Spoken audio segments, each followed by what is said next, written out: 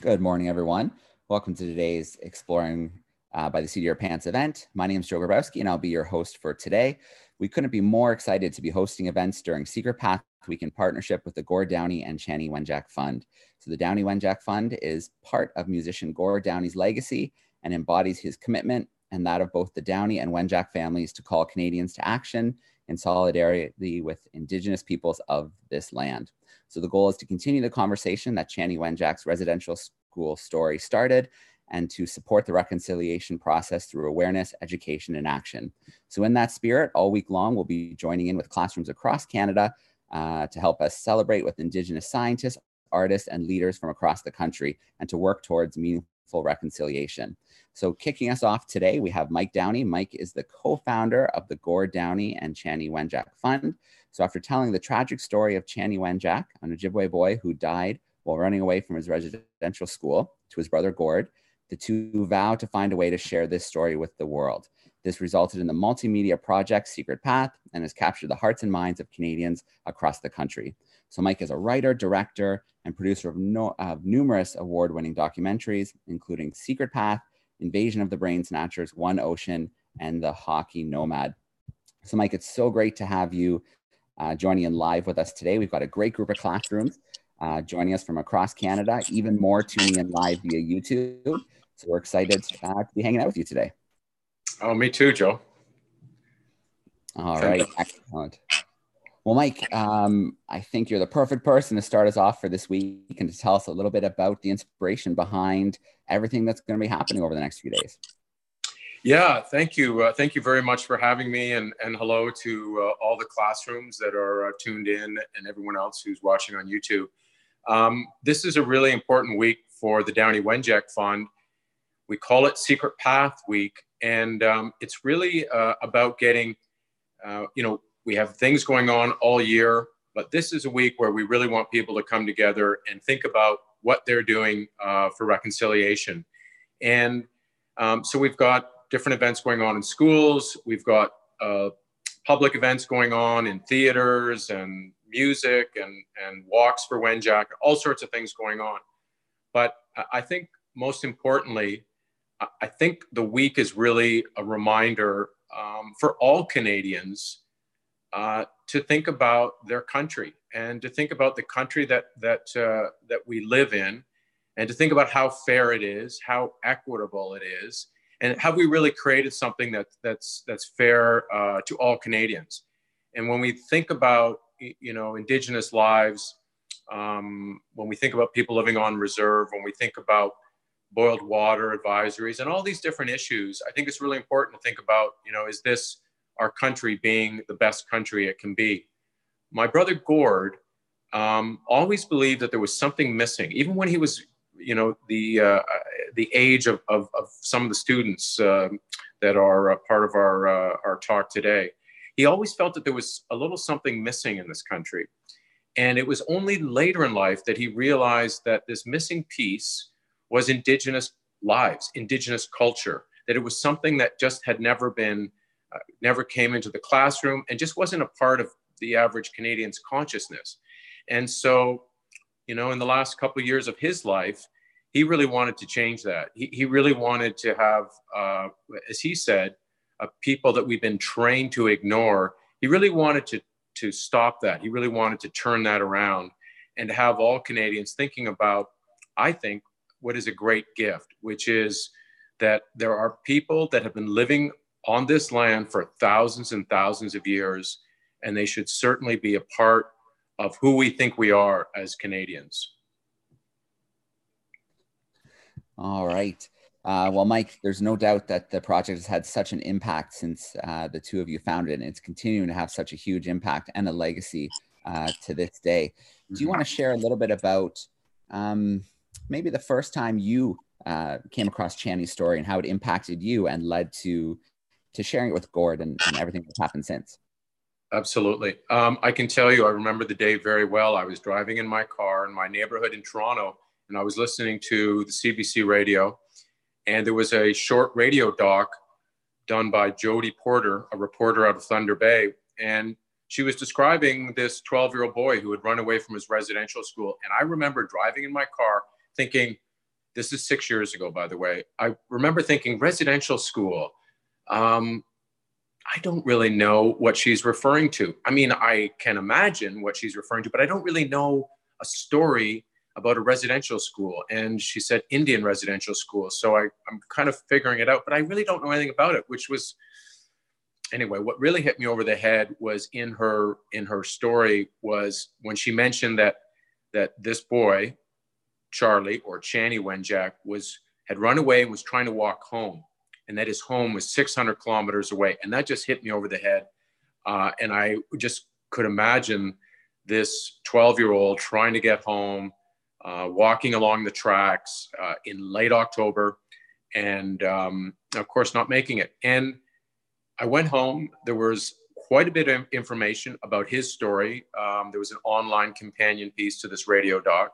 And then, of course, I started reading, finding all these stories, uh, all this information about these residential schools. And I got to tell you, I sat in my home looking at these different, um, looking at this information, and I was really blown away. I couldn't get over the fact that this was such a massive program 150,000 children involved over 150 years, and that I didn't know anything about it. I mean, uh, so the next day, Gordon and I were having lunch, and I had printed up this article that was a part of the information, and that was a Maclean's article, a, a Canadian magazine from 1967. It was actually published on my brother's birthday, February 6th, 1967 and it was called The Lonely Death of Charlie Wenjack. And I pushed that article across the table to my brother and I said, You got to read this. You're not going to believe it.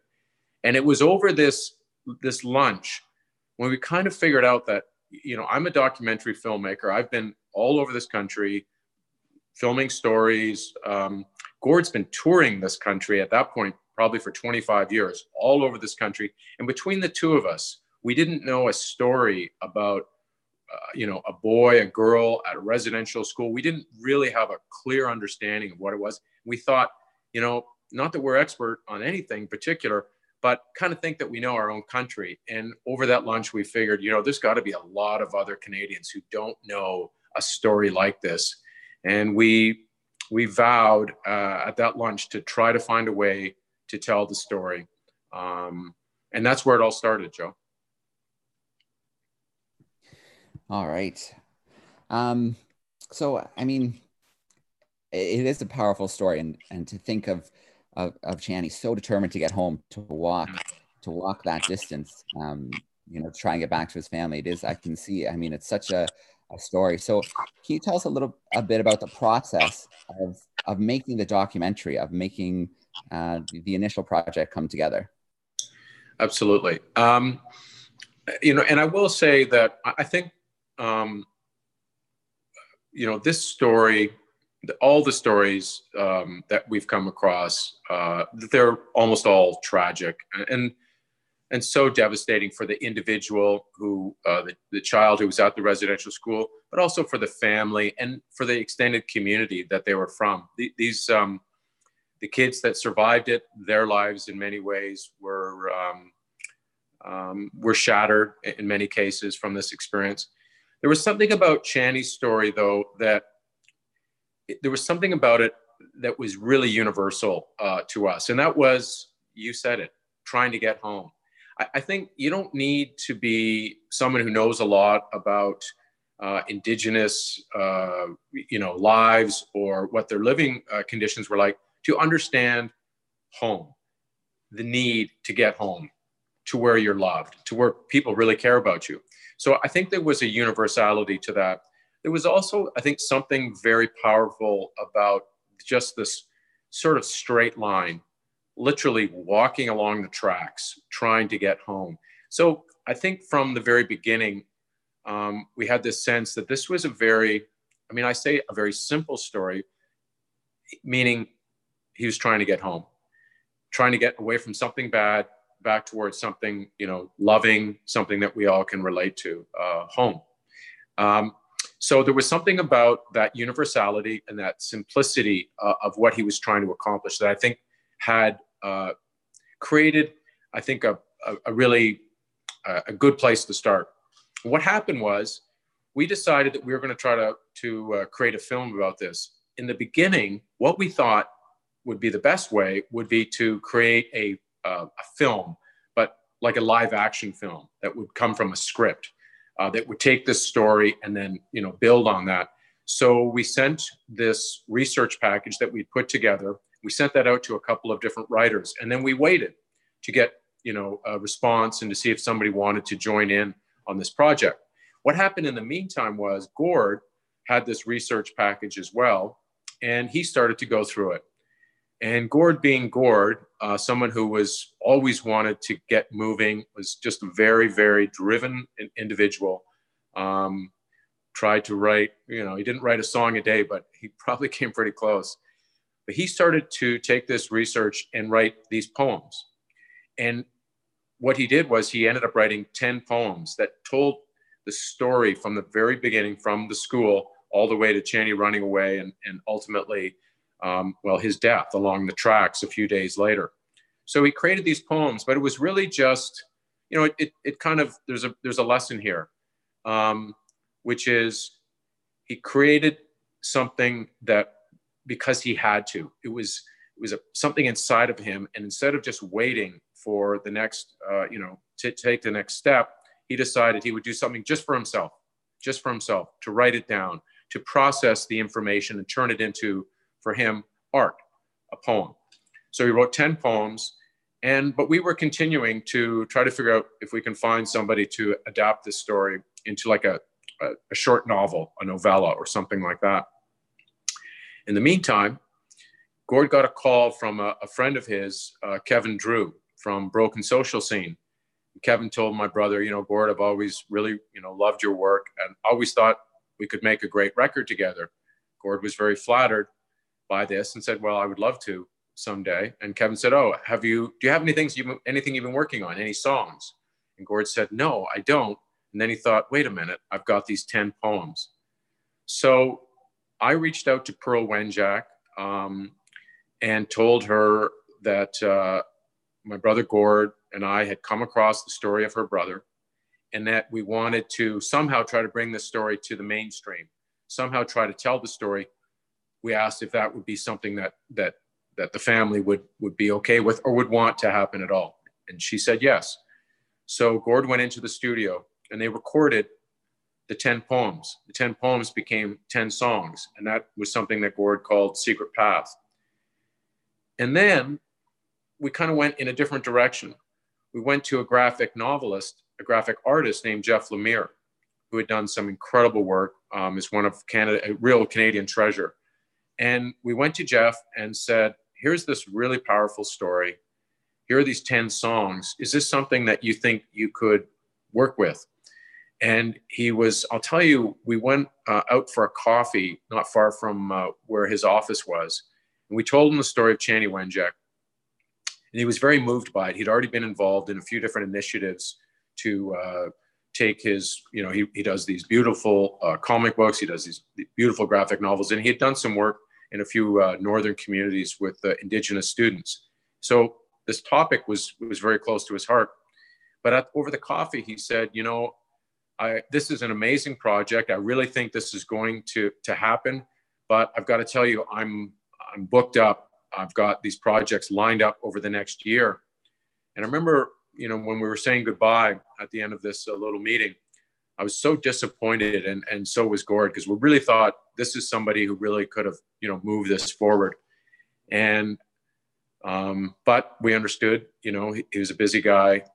The interesting thing is, the next day, he sent this drawing of Chanie Wenjack to Gord in an email and Gord forwarded it to me. And then the subject line, it said, You better sit down for this, Mike. And he had gone back to his office after telling us, his studio, after telling us he, he couldn't really do this. And he said that he sat down at his drafting table where he draws and he didn't have an image of what Chanie looked like at all. We didn't think a picture existed at that point of, of Chanie. And he said he just started to draw. He didn't think about it. He didn't consciously change his mind that, oh, I, would like to, you know, be involved with this he just started to draw. He said it felt like his hand was being moved across the page. Um, and what he created was this image of Chanie Wenjack sitting in the swing looking straight, you know, looking straight at you. And it's a very, very powerful image.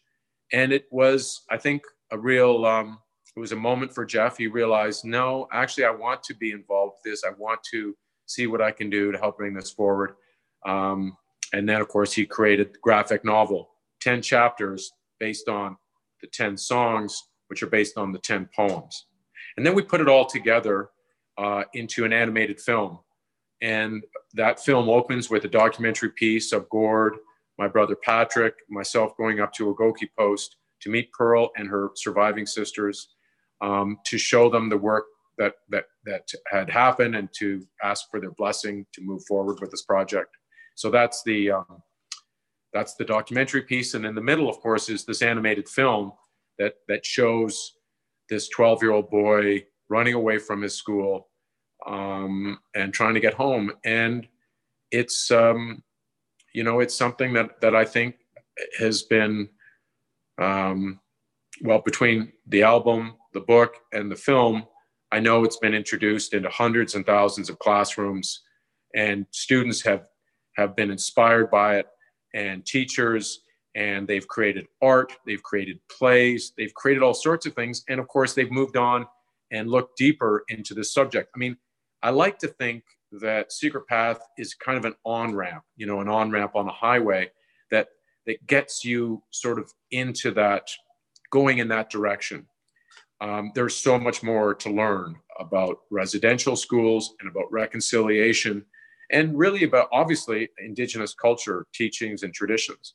But there's something about this 12 year old boy that really seems to to grab people and make them make them pay attention. Um, and you know it's it's been a life changer. The Downie Wenjack fund it was created the Gord Downie and Chanie Wenjack fund was created of secret path when this all was launched in 2016 we wanted to make sure that this didn't just sort of become a media project that comes and sort of gets people stirred up and then moves on you know because that's really the nature of of how these things work. I, have been in the film business for over 20 years and um, you can have great impact. It's hard to have sustained impact.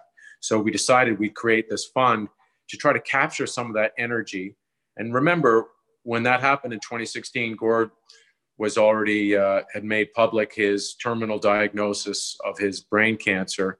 Um, so there was a lot of attention um, that was placed on Gord. The Tragically Hip did a did a huge farewell tour in the summer of 2016, and so there was a lot of, well, there was just a lot of. Uh, there was a lot of interest and a lot of love, quite frankly, that was being directed at Gord. And we wanted to try to harness that and not just let it sort of leak out into the ether, but to put it to some positive use.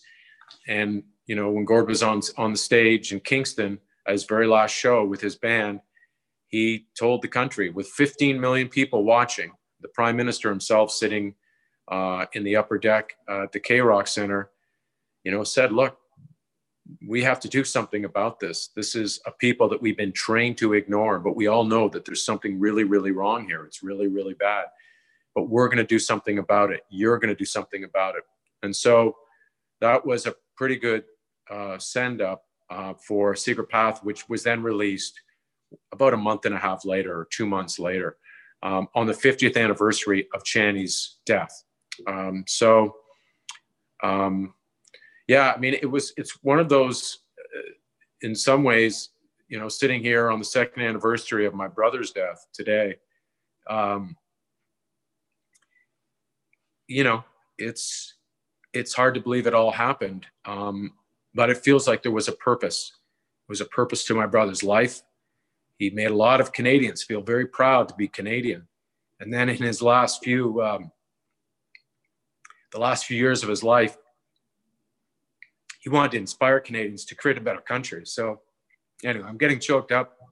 It's very, um, very proud of my brother. Sorry, Joe. No, uh, Mike, absolutely no need to apologize. The thank you so much for sharing the stories, you know, behind the formation of of Secret Path and and the media has such an impact. I remember the first time I heard the album. I remember the first time I saw the video. and we're going to connect with some classrooms right now who, you know, it, it's that legacy um, is is impacting them right now. And they're going to have some questions probably share some stories. So i'm really excited uh, to have all of these great classrooms joining us today um, who, can, who can share some of that with with us today share some of that with you today hmm. some of that impact. Sounds wonderful. All right. Well we have tons of classrooms joining us on youtube. I'm going to try uh, and give a quick shout out to some of them um, so let's see, we've got grade eights hanging out in Woodstock, Ontario with us. We've got some grade sixes in Westminster, Brockville. We've got uh, some kids hanging out in Cambridge, Ontario with Mrs. Gill. Another classroom at Ottawa Technical Secondary School hanging out with us. Grade sixes in Newfoundland. Um, thanks so much for hanging out with us today. Amherst View, some grade six, sevens hanging out with us. Um, Oshawa, Ontario, grade sevens in Chatham, Ontario. So there's tons and tons.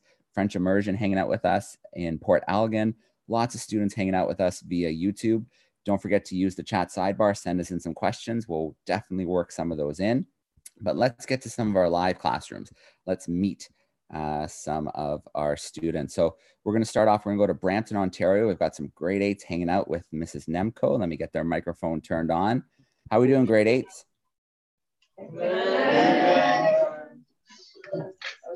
All right. Who's up with a question? Pardon? We got a question. Yeah, we have a question. Josh.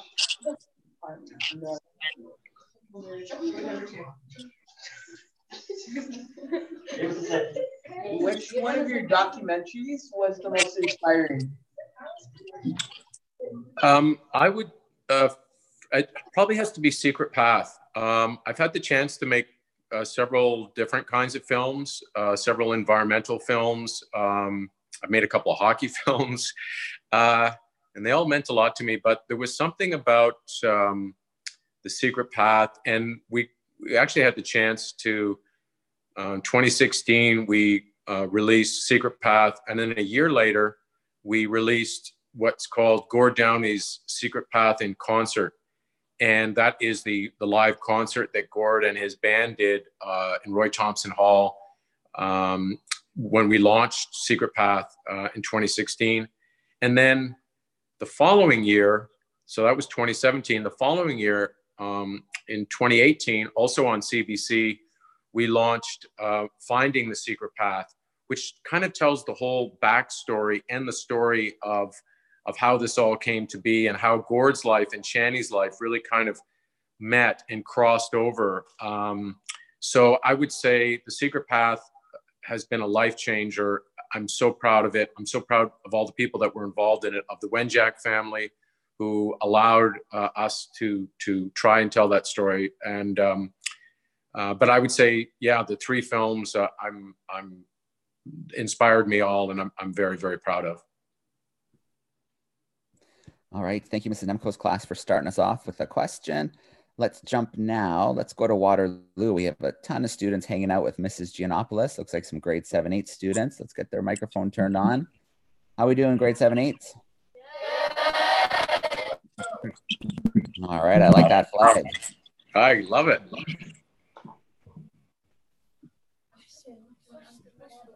All right. Who's up with a question?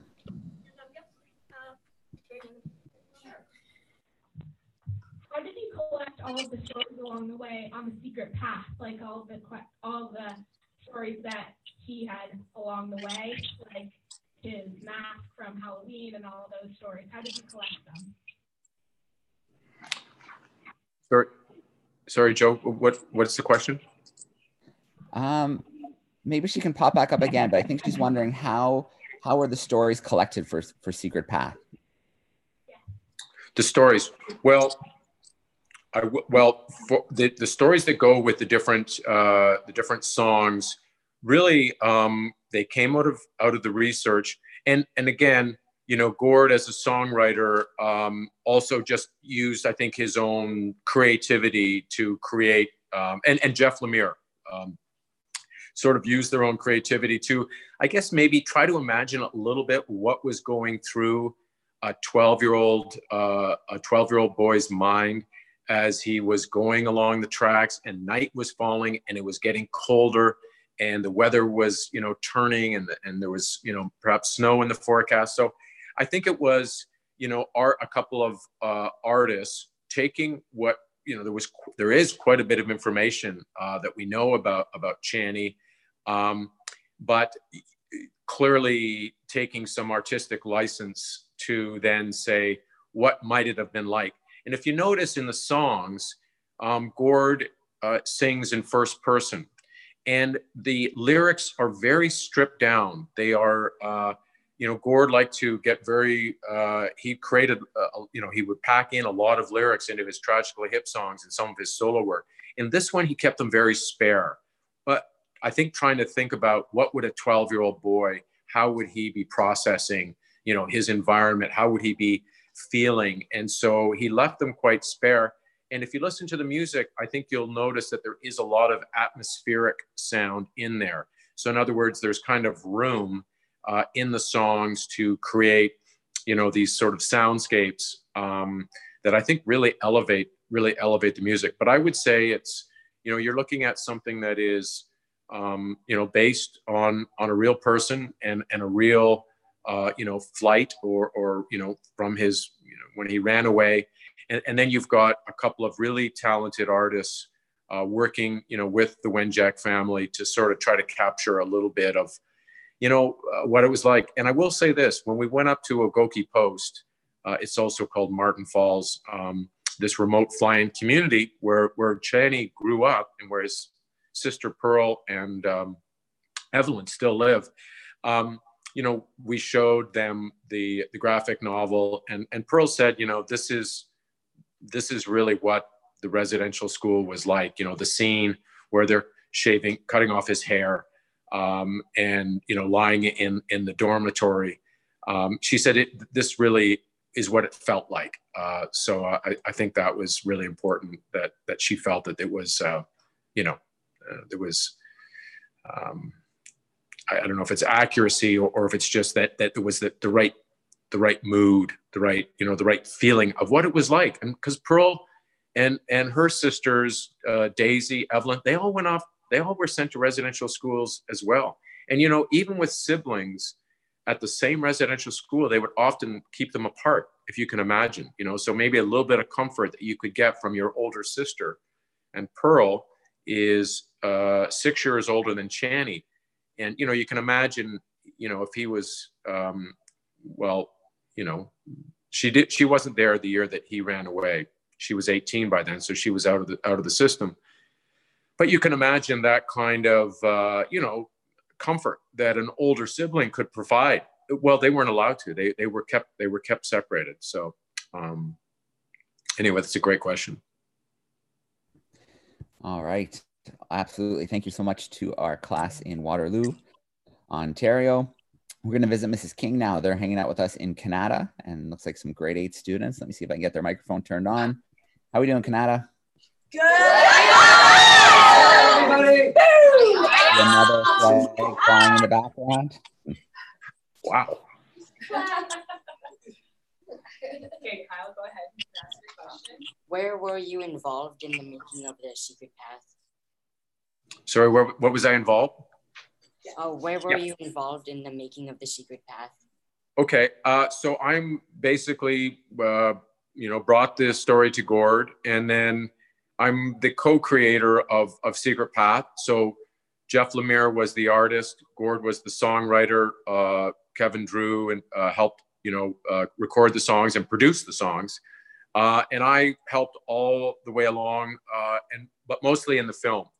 So um, in the film, we hired Justin Stephenson to do with the animation, um, and so I would have been a producer on the film and you know, there's the documentary at the beginning and at the end. I directed the documentary parts on our trip up to uh, Ogoki Post. So you know, I mean, this is a um, it really is a it's a Gord Downie project. Uh, and I was, you know, Gordon and I had the chance over the years to work together several times. I got the chance to direct a few of his videos over the years. This uh, working with Gord on this really kind of uh, you know supporting him um, and getting a chance to work with Jeff Lemire and Justin Stephenson and everyone else who was involved, my brother Patrick.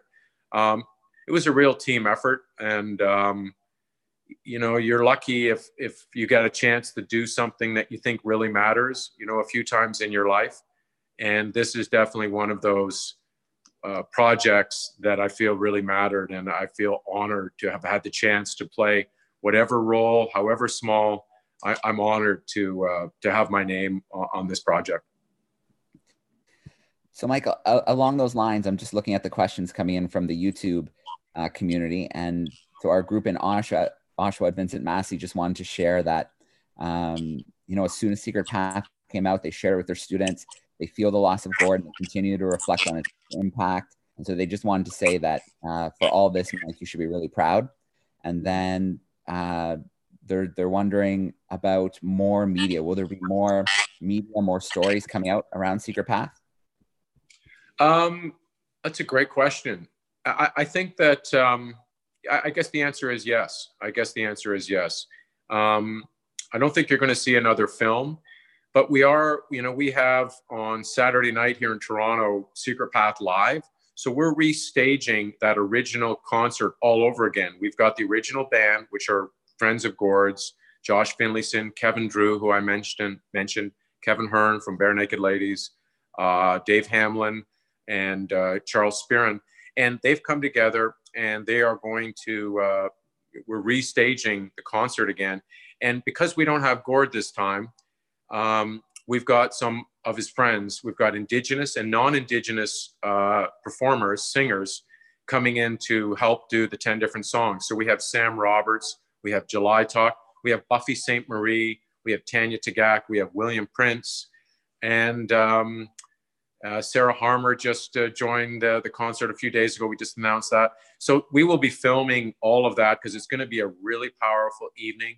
Um, and uh, that'll be another piece that we'll be putting out probably more in like short pieces like you know maybe um, you'll see us uh, on social media you'll see one of the songs released um, from that night. But uh, yeah the work continues. And you know we're you know in, in some ways i guess the art now is being created by canadians across the country by students like you who are creating art creating films creating uh, live uh, theater. And I hope it keeps coming. You know, I, I really do. I think that, you know, there is, to me, your generation is the one that's going to get this right. Uh, I think that when we think about our country, when we when I I grew up, um, Canadian history did not include Indigenous people in any way. I mean, it was so cursory, it was so tiny, and what we were really getting was the colonial history of Canada. And I think that's all, I know it's all changing. I've met many, many teachers across the country, and, and I can feel their enthusiasm to get the true history of Canada told. And, you know, I think that in the coming years, um, you know, I, I'm sort of, I'm really optimistic and, and really looking forward to you know the kind of conversations that i know you're going to be having whether it's you know at school or at home around the kitchen table with your parents because you got to you got to help us older people you know understand these issues better. Um, but I do, I do think that the stories that are coming forward will be from indigenous artists you know indigenous writers. Th- there is quite a great wealth of it already. I think it's just time for it to come right into you know the mainstream of canada so the stories that I think you're going to be hearing next will be um, they will be about residential schools. They're already out there now, and I, I, bet you've I bet you've already read some of them or, or seen a couple of the films that are out there that are fantastic. Um, and you know, I think I hope that Secret Path, if it does anything, it opens the way for more Canadians to want to know more of these stories. Some of them are very painful, uh, but others, uh, you know, are equally as important um, because it really it really shows us, I think, in many ways, what is the resiliency and, and I think the importance of indigenous culture. You know, if we lived in Europe, um, we wouldn't have this ability to try to figure out what this place was like thousands of years ago. We have that opportunity with indigenous stories um, and understanding the culture, traditions, and teachings of the indigenous. So, to answer your question, um, I think there's a lot of work coming. It's coming from from students like you. and it's also coming from indigenous writers artists filmmakers and i'm i'm really well i'm looking forward to it. All right. Let's jump to mrs cook's group. They're in brampton ontario. Grade four fives hanging out. I think they're in the library. Let's turn their mics on. How are we doing grade four fives?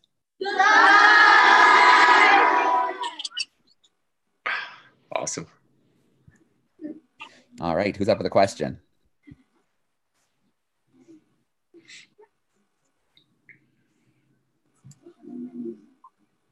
Hi. Hello. My name is Sanvi, and I have a question. How did people even find out about what happened to Chanie? How did I find out about it? So how did people, anybody, find out about what happened? Oh, very. Oh, I, I get it. Very good question. Um, I will tell you that um, when his when Chanie was found, they it launched a, a medical inquiry in 1966. So and and at that time they actually discovered a lot about what was going on in residential schools. And there were recommendations from this medical inquiry. So there's quite a bit of information. They they sent up um, i don't know who would have uh, run the investigation but they were very they had an inquiry uh, a lot of this information came they had people from the school um, and the other piece where a lot of this information came from is Ian Adams. And he was a writer for Maclean's magazine in 1966. And he traveled up there. He heard this story, Ian did. And he traveled up there and attended the medical inquiry. And he wrote that article that I mentioned earlier that was in the magazine that was published on my brother's birthday, February 6th, 1967, called The Lonely Death of Charlie Wenjack. And there is so much information in there about what happened and a little bit about what was happening at the residential schools. Unfortunately, with even with that much information, now remember at that time, Maclean's was it was the national magazine of Canada. It was read by, I would say, hundreds of thousands of Canadians every week. Um, but even with that that much coverage, um, that was 1967 residential schools were around for a lot, you know, many, many more years. Um, so it doesn't feel like the recommendations from the inquiry were really ever acted upon, uh, but there was certainly a lot of information, and and I think it's really important because remember, there they they believe there's over five thousand of these students that never made it home that died in these schools, and for many of them there is no information at all. They don't know where they were buried they were, I don't know if they were covered up, but there's very, very little information. So this makes this story. There's also a, there's a couple of other stories that are quite prominent about children who died at residential schools. But this one in particular, it's a very good question because that is how that is where a lot of the information came from. If there hadn't been that medical inquiry, um, if the police hadn't been involved, if Ian Adams, a very good reporter, hadn't been involved, then a lot of this information would have been lost. So I think we're lucky that those people did their job and recorded it, even though it didn't really have a, a, whole lot of impact for a long time. It was important because when we went to look back, um, there it was. There was all this information. So thank you for your question. All right. Awesome question.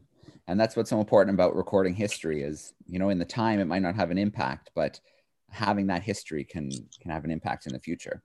Absolutely. Uh, Mrs. Burns' class, they're hanging out in Thornhill, Ontario. Looks like some grade six, seven, and eights in that group. Let me turn their microphone on. There it is. How we doing, Thornhill? Hey. Awesome. Um, we've been trying to think of ideas about how we can do something. What do you think students should be doing? Oh, great question. Great question. So, I mean, I think that you know when we when we hear about something that is you know we're we think is a, a terrible um, situation that needs to be that needs to be fixed, needs to be rectified. I think it's good to think about three stages. Three stages.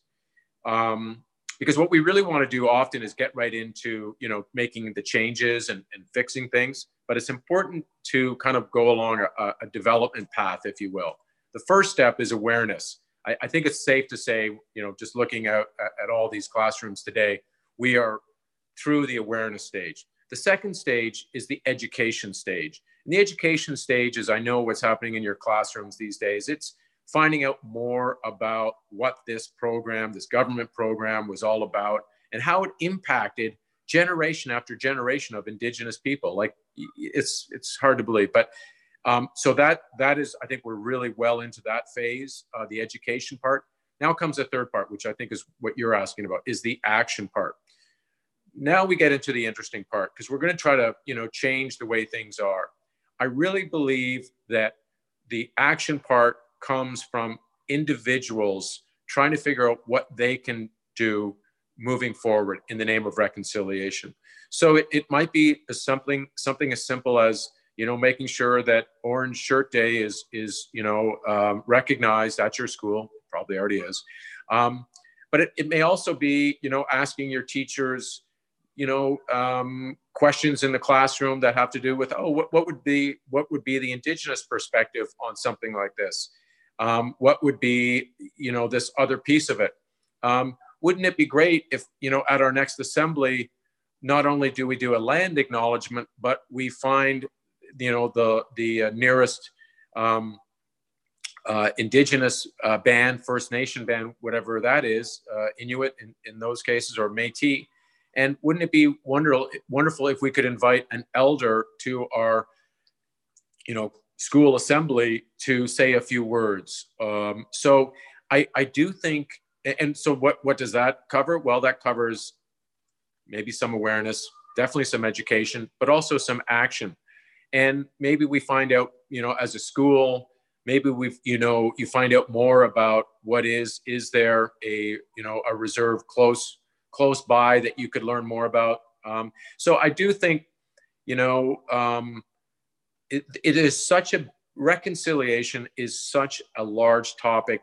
We're not going to come up with the the fix, so to speak, the government program. The government has a big responsibility, I think, to continue to make sure that education funding levels are the same on reserve as they are, you know, in in classrooms across the country. Um, I do think, you know, we, we still have issues like clean water. Um, we have issues of inequality, you know, across the country we need to make sure that our, you know, here, here we are in the middle of a federal election. You know, we need to make sure that our, our um, uh, politicians understand that we care about these issues. We care about many issues, but this is one of them. Um, I do think as a country, we have an opportunity to create something really, really wonderful here. I, I think we got a great country uh, already. It, it, can be a lot better, and uh, and I think it's I think we're going to find our place in the world when we figure out how indigenous culture and teachings and traditions become more of an idea or more of a part of who we think we are as a country. I, we haven't done that before. If this happens, your generation will be the first um, to basically, you know, understand that Canada is not a 150 year old country. It, you know, it can't be. It, we have citizens that have been here for thousands of years. So I really believe that it's it's you know what's coming is um, small actions, but progressive actions, you know, whether it is, you know, figuring out a way to um, connect, you know, uh, reading and reading indigenous uh, novels, uh, it, like it, it, kind of is just a greater awareness, I think is a, is a huge part of it. Um, but yeah, to answer your question, I think you name it, conversations, asking questions, uh, trying to figure out, you know, is, should there be an indigenous piece, you know, to this? Um, and in many cases, the answer is yes, there should be. So then, then we have to go out and figure out the best way to do that. The other thing is, you know, I think importantly, that's why I mentioned the awareness and education. It also applies to this culture. Um, you know, you have to be respectful. You have to learn as much as you can about this culture. And when you do, I think you're going to be, maybe you already have, it's so fascinating you look at things like gratitude. Gratitude is one of the most, this is what I've learned. It's one of the most important parts of relationships with between indigenous and the way indigenous, you know, interact with with you know the rest of us, non-indigenous. Gratitude, really basic things, but they're so powerful and they're they're in many ways they're kind of ancient ideas. We look at things like the medicine wheel and all of the things that go into that that really makes so much sense in our daily living. And of course, you know, we all, you know, we live in a very high speed, you know, uh, technol, you know, technology driven society. In many cases, you know, indigenous teaching is about breaking through that because it really is about the importance of, as I said, gratitude. Um, really important to slow down, to think about the bigger themes um, in our lives. Um, and they're all right there in front of us, but sometimes it's easy to ignore. So I hope I've answered your question, but uh, I, I, really think there's there's room for everyone to be involved, and I'm really excited about you know what's happening in the classrooms and how we're all becoming, I think, more aware and better educated on Indigenous lives and Indigenous culture. Yeah, absolutely, Mike. Small individual actions taken together on a whole across the country can have such a massive impact can can make a movement. So it yeah. is really about the awareness and then doing something, no matter how small. Um, yeah, I agree. Forward. All right. Uh, where do we have to go next? Let's go to Haileybury, Ontario. Uh, grade eight's hanging out with Mrs. Taylor. Let's get their microphone turned on. How we doing, Haileybury? Or Bury? Sorry. Bury. I was unmuted. Yeah, we can hear you. You're on.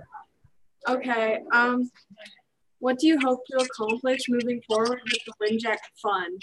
Fund. Great question. Um, what what we hope to accomplish is, I mean, I'll tell you, one of the biggest things is happening right now uh, is getting more and more schools involved with. Um, we have something called the Downie Wenjack Fund Legacy School Program.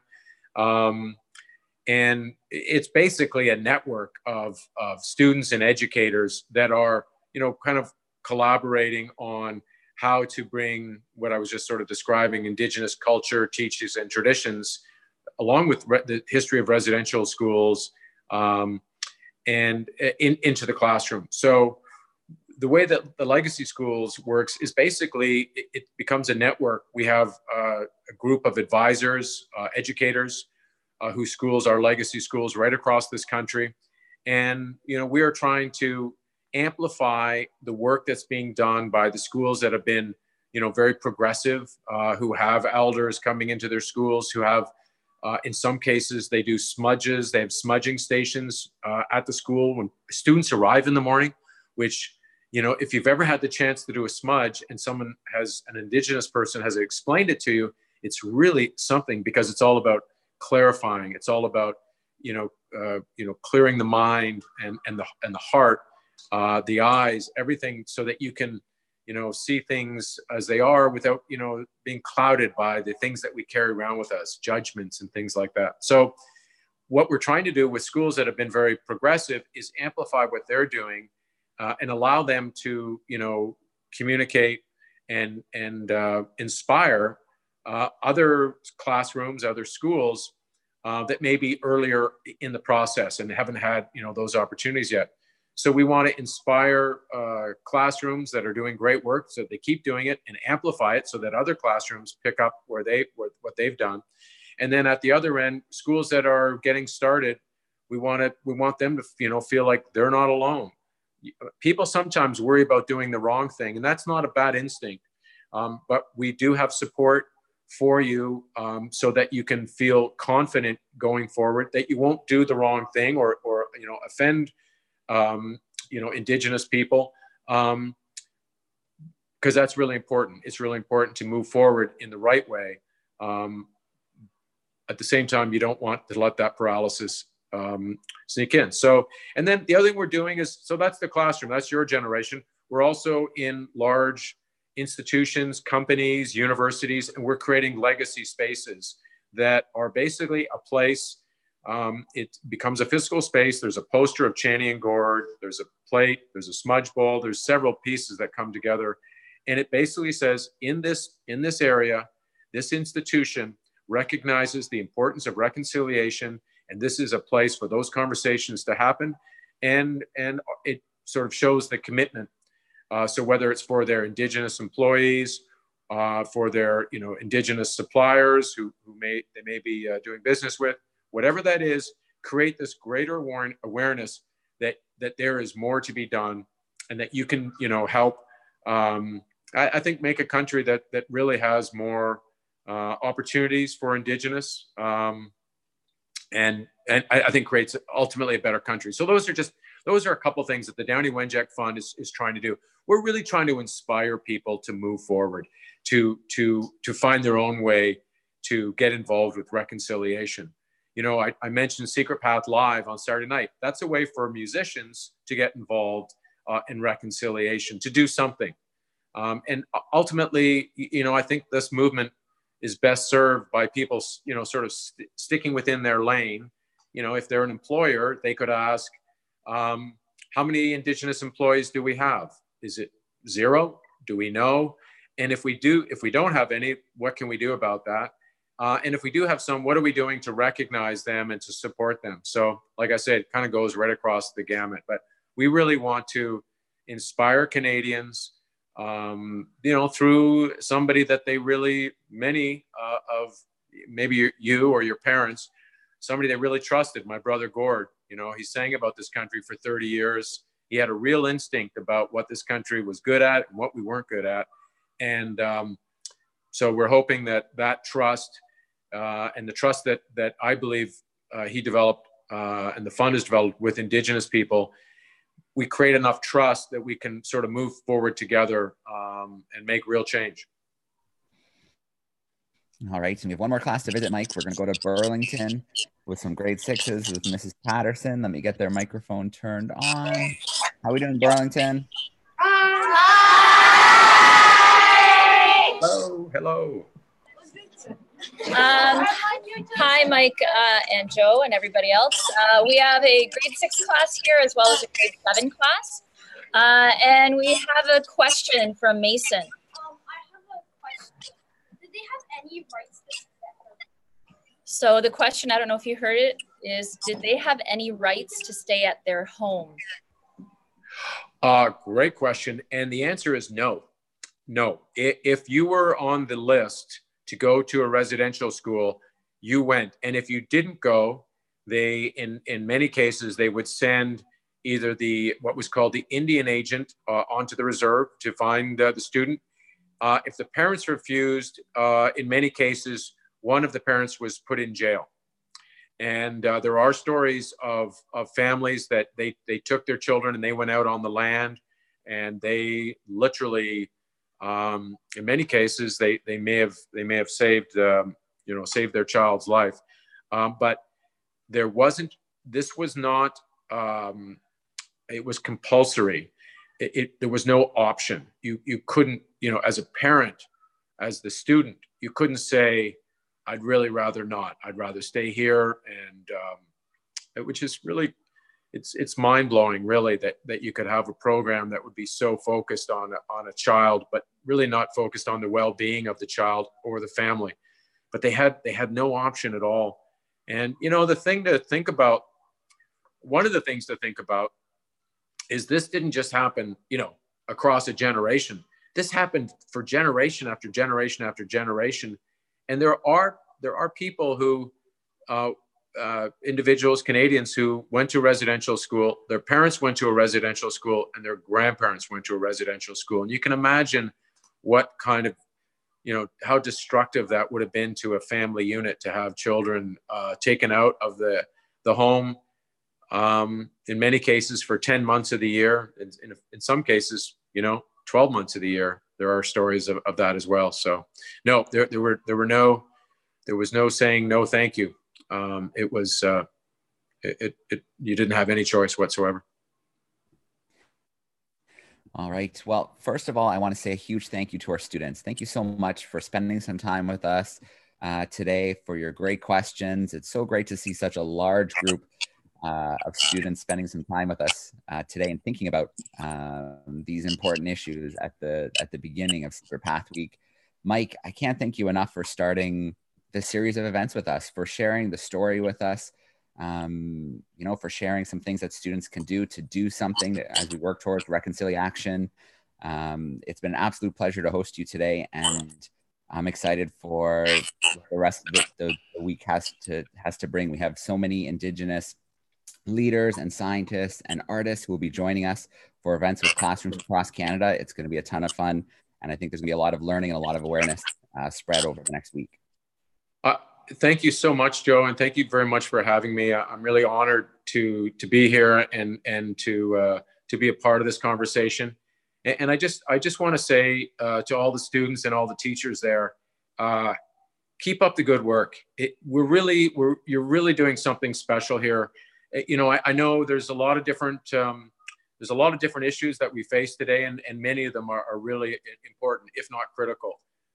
This is one of them, and it really is about our country. And I feel so good knowing that there is this generation uh, that is that believes uh, that understands the injustice of, of much that that came before and is really determined to change that and to really understand your country understand your own country in, in its fullest and it's not all very pretty as you as you know um, but we sh- we never want to turn away from that we, we need to have the courage to face it and to make it better and and i feel it and i can feel it moving so thank you all um, and uh, yeah uh, I, I'm, I'm honored all right. Well, the last thing we'll do today, uh, boys and girls, I'm going to unmute all your microphones. If you want to give a big thank you to Mike uh, for today, then we can we can sign off. So here we go. Microphones are coming on.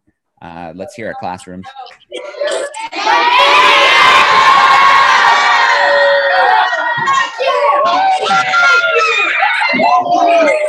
All right. They're always so good at that part. Uh, thanks again, uh, classrooms. And Mike, thank you so much. We have lots more events coming up this week. We're just getting started. Uh, please, I saw a lot of teachers taking pictures and video.